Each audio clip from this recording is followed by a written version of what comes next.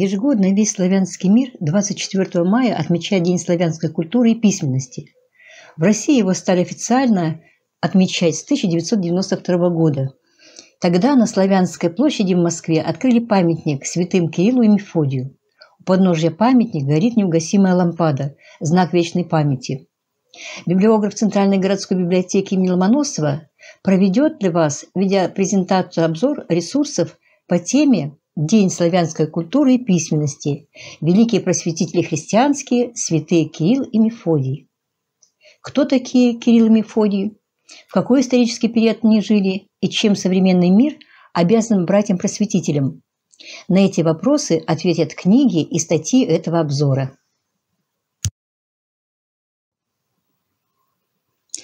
Книге Владимира Валентиновича Фортунатова «Российская история в лицах», изданной в издательстве «Питер» в 2009 году, раздел «Кирилл и Кириллица» является частью главы «Творцы русской культуры», страницы 45-47. Автор кратко рассказывает о монахах-просветителях. Кирилл и Мефодий были детьми довольно состоятельными, состоятельной семьи. Их отец занимал высокую военную должность, он был сотником. Большинство ученых по этнической принадлежности считают братьев греками, а в славянских странах, например, в России, их предпочитают считать славянами. Константин, он стал Кириллом при крещении. Годы жизни 827-869 с младенчества обнаруживал необычайное дарование. Он еще, не достигнув пяти лет, обучаясь в Салунской школе, был в состоянии читать сложнейшие писания из отцов церкви, Григория Богослова, например. Слух о даровитости мальчика достиг Константинополя, и его взяли ко двору императора товарищем по обучению сына Михаила III. Под руководством лучших наставников, в том числе Фотия, будущего знаменитого патриарха, Константин изучил античную литературу, философию, риторику, многие науки. Он прекрасно знал славянские языки, а также греческий, латынь, еврейский и арабский. Он был слаб здоровьем и э, проникнутый религиозным энтузиазмом и любовью к науке, рано принял духовный сан и стал священником, а также библиотекарем патриарха. Его старший брат Кирилл а, Мефодий, восьмой по счету в семье, состоял на военной службе и был правителем некого славянского княжества, находившегося или в Фессалии, или в той части Македонии, которая называлась Славинией. Мефодий постригся в монашество и некоторое время находился вместе с братом Кириллом на горе Алим. А в 858 году Кирилл получил новое поручение императора Михаила III – идти вместе с Мефодием к хазарам-язычникам, просившим прислать к ним ученых мужей. Путь к хазарам лежал через Корсунь, где миссионеры остановились на время для изучения еврейского языка и открыли мощи святого Клементия Римского, большую часть которой взяли с собой – Каган Хазарский принял дружелюбно, сам не крестился, но позволил креститься всякому, кто захочет. захочет. Каган грозил смертной казнью тем грекам, которые стали бы общаться в магометанство или иудейство. В тот период проповедь Кирилла и Мефодия коснулась славян, живших на казарской территории. В как повествует житье Кирилла, он познакомился с одним русином и нашел Евангелие и псалтирь на русском языке, писанные русскими письменами. По возвращению в Константинополь Кирилл возобновил свои научные занятия, а Мефодий принял игуменство в монастыре. Около 861 года последовало крещение болгарского царя Бориса, а потом и всей Болгарии. А с 862 года начинается главное дело всей жизни святых братьев.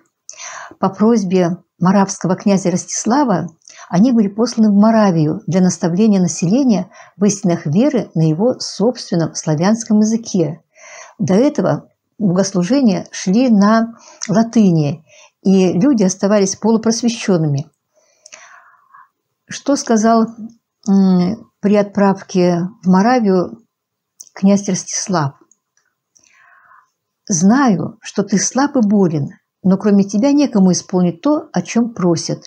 Вы салуняне, а все салуняне чисто говорят по-славянски. Слаб я и болен, но рад идти пеший босс, готов за христианскую веру умреть, отвечал Кирилл. «Имеют ли славяне азбуку?» – спросил он. «Учить без азбуки и без книг все равно, что писать беседу на воде». Считается, что перед отъездом в Моравию Кирилл создал славянскую азбуку и вместе с Мефодием перевел на славянский язык несколько богослужебных книг.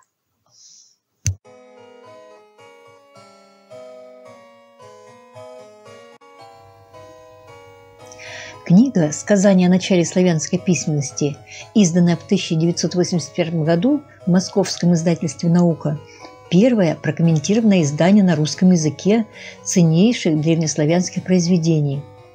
Это научное издание Института славяноведения и балканистики. В ней, в этой книге, опубликовано жизнеописание создателей славянской письменности, сказания чуднаристца Храбра о письменах, в комментариях дается характеристика исторических событий того времени. А, приводятся сведения о создателях древнеславянской письменности Константине и Мефодии. Дается толкование многих терминов, слов, выражений. Сказание храбро известно в 73 списках XIV-XVIII веков. В основу перевода, публикуемого в этой книге отрывка, положен текст этих списков – а прочитаю небольшой отрывок из сказания чернорисца Храбра о письменах. Ведь прежде славяне, когда были язычниками, не имели письмен, но читали и гадали с помощью черт и резов. Когда же крестились, то пытались записывать славянскую речь римскими и греческими письменами без порядка. Но как можно хорошо написать греческими буквами «Бог», или живот, или соло, или другие подобные этим слова. И так многие годы. А потом Бог, человеколюбец, который правит всем и не оставляет и человеческого рода без знания, но всех приводит к познанию и спасению, помиловал род славянский и послал им славного Константина Философа, названного в пострижение Кириллом, мужа праведного и истинного. И создал он для них 30 писем и 8. Один по образцу греческий письмен, а другие в соответствии со славянской речью. Следующий отрывок. Другие же говорят, зачем создал 38 письмен? Можно и меньшим числом писать, как греки 24 буквами пишут. Они знают точно, сколькими знаками пишут греки. Есть ведь у них 24 буквы, но письмо их не полно с этими буквами и добавили 11 двоегласных и цифры 3, 6, 90 и 900. И собирается их всех 30 и 8. Подобно тому и по тому образцу создал святой Кирилл 30 письмен и 8. И еще. Ведь если спросишь книжников греческих, говоря, кто создал вам письмена или книги перевел, и в какое время, то мало кто среди них это знает. Если же спросишь славянских книжников, кто вам письмена создал или книги перевел, то все знают и, отвечая, говорят, святой Константин Философ, названный Кириллом. Он и письмена создал, и книги перевел – и Мефодий, брат его. Ведь еще живы те, кто их видели.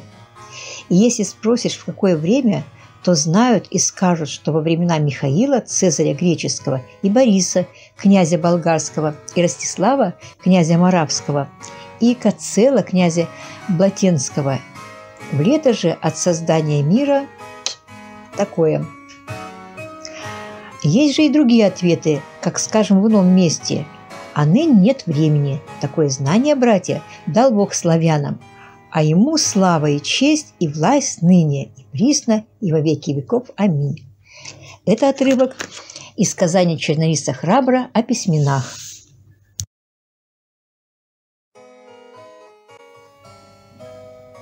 О судьбе просветителей пишет публицист Валерий Шамбаров – майском номере журнала Никиты Михалкова «Свой». Это приложение к газете «Культура» за 2017 год. Э, в 867 году Когда византийский император Михаил III был свергнут, а патриарх Фотий низложен и даже отлучен от церкви, к власти пришел Василий Македонянин. Он восстановил отношения с Римом, и братья решили, что нет ничего важнее, чем спасение начатого дела, и отправились к папе Адриану II. Тот благословил просветителей их труд. Но Кирилл заболел и в Риме умер. Мефодий тоже сдержался там. А в то время в Моравии к власти пришли немцы, и Мефодия три года мучили в тюрьме. А Моравия тем временем восстала, прогнала немцев, и тогда просветитель вновь приступил к службе, созданию славянской церкви. А в 870 году он стал епископом и был на этой должности 15 лет. Умер он в 885 году, и после его смерти славянская церковь подверглась разгрому. Моравией тогда правил буйный, необузданный, сохранивший языческие привычки святополк. Последователи учения славянских просветителей убивали, жестоко истязали, продавали в рабство – Последователи просветителей, оставшиеся в живых, отправились в Болгарию. Цель у них была одна – сохранить славянское богослужение, богослужение на славянском языке. Болгарский царь Борис принял их с распростертыми объятиями. Он желал организовать у себя не греческую, не латинскую, а свою национальную церковь. Славянская церковь утвердилась и стала развиваться – распространялась славянская литература, обучались славянские священники. Из Болгарии они понесли учение на славянском языке в Сербию, Хорватию и на Русь. Также э, Валерий Шамбаров пишет о значении славянского учения и значении кириллицы для славянских племен. Она оказалась настолько удобной, что Ею начали пользоваться времена раньше, чем к ним приходило христианство. Археологи находили грамоты языческого содержания, написанные кириллицей.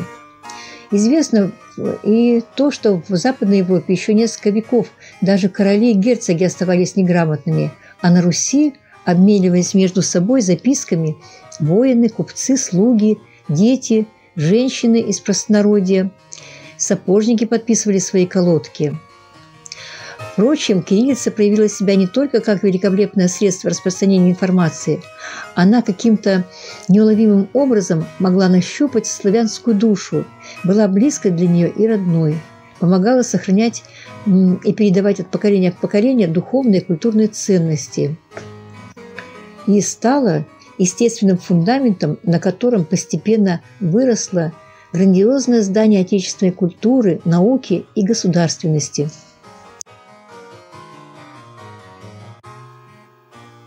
Если мы говорим о славянской письменности, то следует сказать и о глаголице, предшествующей кириллической азбуке.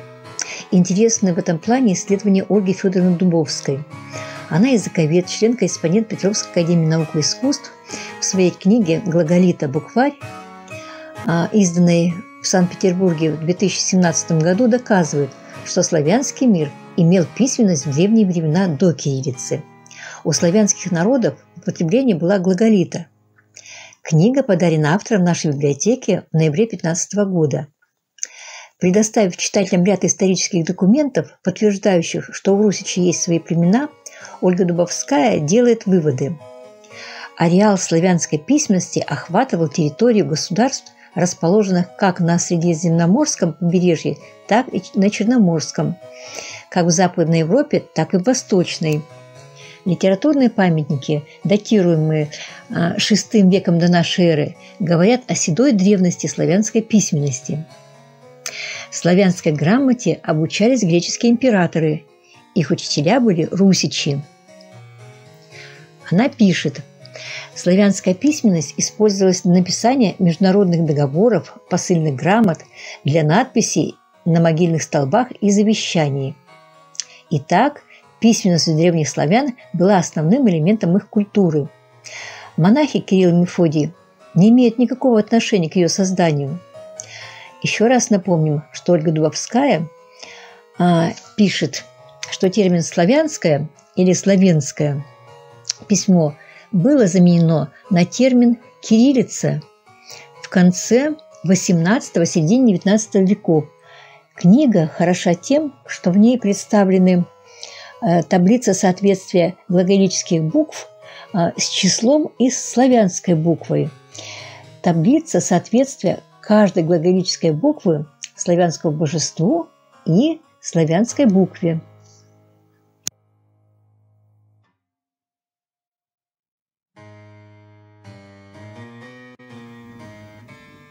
О глаголице Ольга Удвовская продолжает рассказывать в книге для дошкольников и младших школьников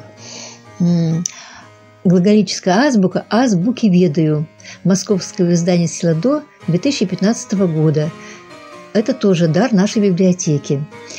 Научно-популярное издание для детей, а также для родителей, посвящено глаголической азбуке, распространенной у славянских народов – Книга рассказывает об удивительных буквах-образах, которыми пользовались древние славяне для письменной фиксации своих знаний об окружающем мире. Научно-популярное издание «Азбуки ведаю» опирается на старославянский словарь, созданный по рукописям X-XI веков, который был издан Институтом славяноведения и балканистики Российской Академии Наук и Славянским институтом Академии Наук Чешской Республики. В книге использованы картины русских художников XIX-XX веков. А, в предисловии для родителей Ольга Дубовская трактует перевод глаголиты как глагол, слово, речь, молва и лит – камень. И вместе можно перевести как говорящие каменные буквы. Каждый разворот книги – это мир одной буквы с рассказом о славянских языческих богах и с репродукциями картин русских художников.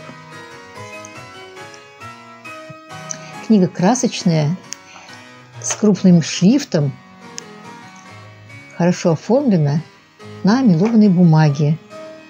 И детям и взрослым ее приятно читать. В ней есть задание.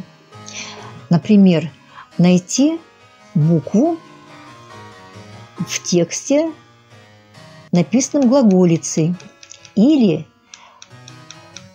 найти такую букву, которая на страничке в названии твоего города.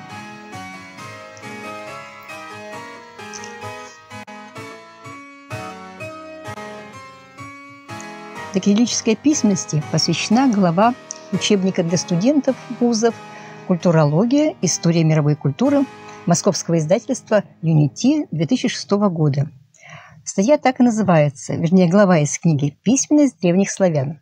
В ней говорится, что ряд современных лингвистов считают Кирилла и Мефодия не создателями, а лишь реформаторами уже существующей азбуки, основанной на греческом алфавите и использовавшейся при записи Велесовой книги. Имеются свидетельства, что древние славяне использовали узелковую письменность.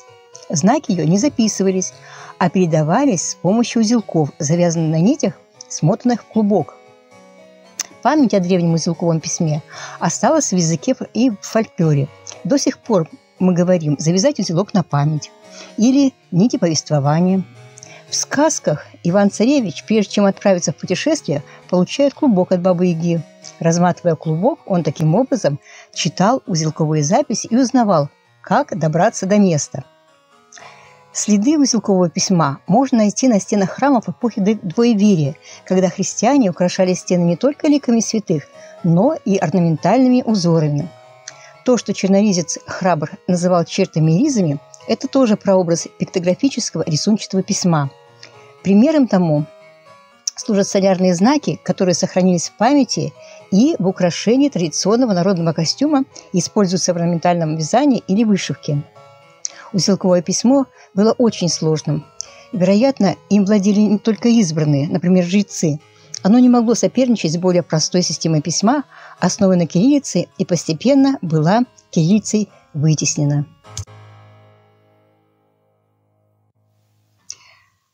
Помощь педагогам и библиотекарям предлагаем журнал «Праздник в школе» номер 10 за 2013 год. Он имеет название «Жизнь как факел. Личность в истории».